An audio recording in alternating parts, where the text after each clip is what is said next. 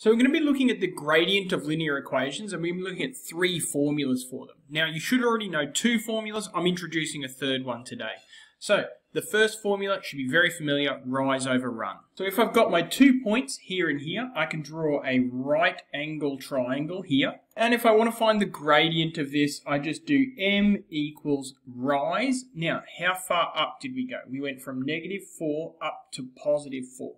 So we've got a rise here of 8 over a run, we went from negative 2 to 5. Alright, our gradient is 8 over 7. We can leave it as a fraction. I guess we could do it as a decimal. It's not very nice though. It's 1.14 and a bunch of junk afterwards. In fact, that decimal is not going to be useful to us at all here. We're going to be very interested in fractions for a reason that's going to become apparent soon. Okay, that's formula number one, rise over run. There is a second formula that you should already know m equals y2 minus y1 over x2 minus x1. It's essentially a uh, formalization of rise over run. Let's try it with these numbers here. Now when I do this, I get confused a lot. So what I like to do is label these points x2, y2 and label these points x1, y1. Okay, let's get to work.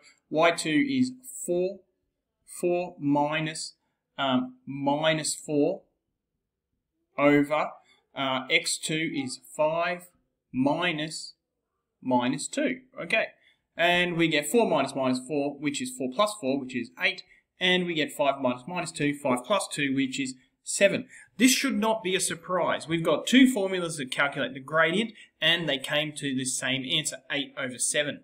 And now we're going to get to our third formula. So before I come right out and say the formula, trigonometry is our hint, and it's the space that we should be thinking in. We have a right angle triangle here, right?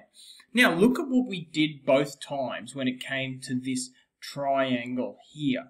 We did this length over this length here. We did rise over run. We did y2 minus y1, which just calculates the rise over run. Okay, when it comes to trigonometry, I can draw in an angle here. And suddenly, m rise over run doesn't become rise over run anymore. It becomes opposite over adjacent. So, so far I haven't actually changed anything. I don't have a new formula. All I have is just different labeling. Opposite is obviously 8 here and adjacent is equal to 7. But think about your trigonometry.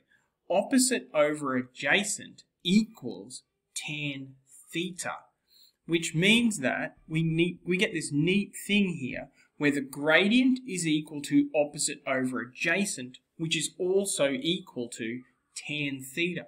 Now, if m is equal to this is equal to this, that means that m is equal to this. We can essentially cut out the middleman and we have our new formula. m is equal to tan theta. m is equal to the angle that the line makes with the horizontal. Okay, last little step here that I really need to show you is that this angle, theta, we can draw it in where I've drawn it in, but we can draw it anywhere along the horizontal, along the vertical I should say, um, which means that there's a very neat, nice, obvious place to put it, which is right here. And we can see that these angles are corresponding angles. So, what does all of this mean? So that's our new info. m equals tan theta, where theta is the angle between the line and the positive direction of the x-axis, between this bit here. And that can look a little bit funny when the line's going the other way. Speaking of which, you might get a question like this. We've got a line right here, we know an angle here, and we're trying to determine the gradient. Now we have a nice formula here, m equals tan theta, but it's important to remember what theta is. Theta is the angle between the line and the positive direction of the x-axis. So if you're not sure how to think about that, start with your, your pen facing like right on the on the edge here and facing the positive direction of the x-axis. This is a good place. Always start here. And then rotate it until you hit the line rotate it until you hit the line. And always rotate it anti-clockwise. Alright, when we rotate it, we get this angle here. And this is the angle that we use in this equation, not the angle that this question gave you. That's the wrong angle. We use this angle here, which obviously means now that m is going to be equal to tan of that bit there. So let's think about what that bit is. Theta is equal to 180 degrees, a full straight line, minus 60 degrees, which is 120 degrees. So m is equal to tan 120.